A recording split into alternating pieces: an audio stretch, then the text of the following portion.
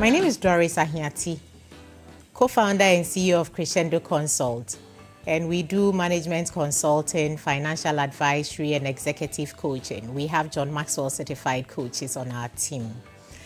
Today, I want to share with you a few tips and guidelines for doing your family's financial planning. At the beginning of the year, we tend to set goals, personal goals, goals to do all sorts of things, top among which often is to lose weight. But a very crucial goal that is often omitted is the financial goal. Some people may set personal financial goals, but the family's financial goal is crucial because it is connected to the overall growth of any particular economy or improvement in the lives of the people in a society. Now, the family financial plan is very crucial because it forms the basis for growth for any particular family. Without a financial plan for a particular family, you see there is tension, there is conflict, and um, sometimes leads to broken homes with wayward children that in the end may find themselves becoming criminals. So without a financial plan, a family uh, may not contribute to society the way it would. When we also talk about financial plan, it tends to have a broader scope than what people tend to think. Often people just equate financial plan to cash flows. Let me say that it is very important that we focus on cash flows because unlike insurance, unlike investment, unlike estate planning, and unlike retirement planning, the cash flow side is the sole responsibility of any particular family. For investment, you can rely on an investment manager. For estate planning as well, you have professionals to help you. When it comes to insurance, you just buy it. So the decision you need to take basically is to sign up for the product. But when it comes to the cash flow management, it's up to the family unit to decide how much money they are making and how they are spending that money. That one you can't get help. You can get advice, but it's your sole responsibility. It's very important that, like all other goals that we set in life, when you are setting the financial plan for your family, that you subject it to the SMART requirement.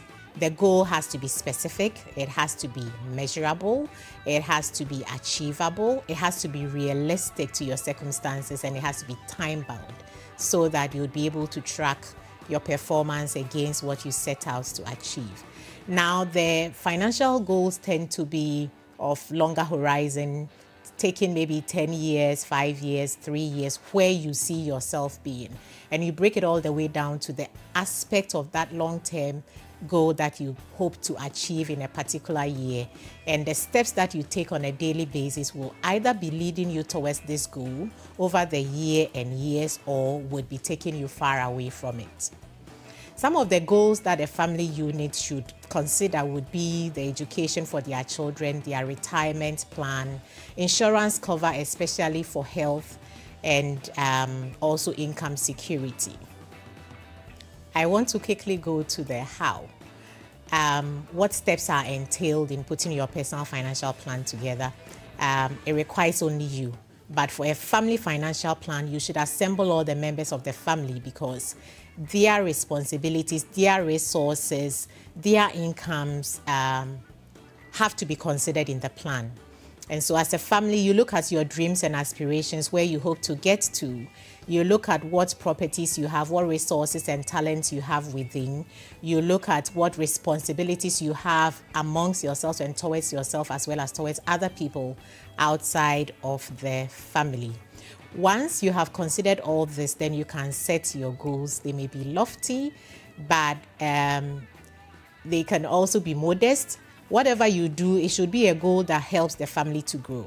So earlier on, Ben Avler was asking whether you should look at your family's income and fit your expenditure within it. And I suggested that rather you look at the expenditure and if your income is not enough, identify creative and alternative income sources so that you can experience growth with your personal financial plan. So by all means, use the Maslow's hierarchy of needs to identify the very crucial basic needs, accommodation, food, um, education, especially investment in technology because we are in the digital economy, your children's future. Retirement planning is very crucial. You may use Elizabeth Holmes' 50, 30, 20 rule, which says 50% of your income is going towards um, your daily living expenses. 20% is going towards investment and retirement planning, and 30% towards discretionary spending. By all means, I cannot say that enough. Allocate some portion of your funds in your budget to invest in.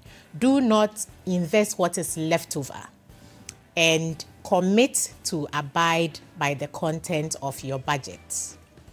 Also, be disciplined enough and plan to delay spending when you see something that you are interested in. That allows you time to do your research and to identify the best deal for your spending so you get actual value for money.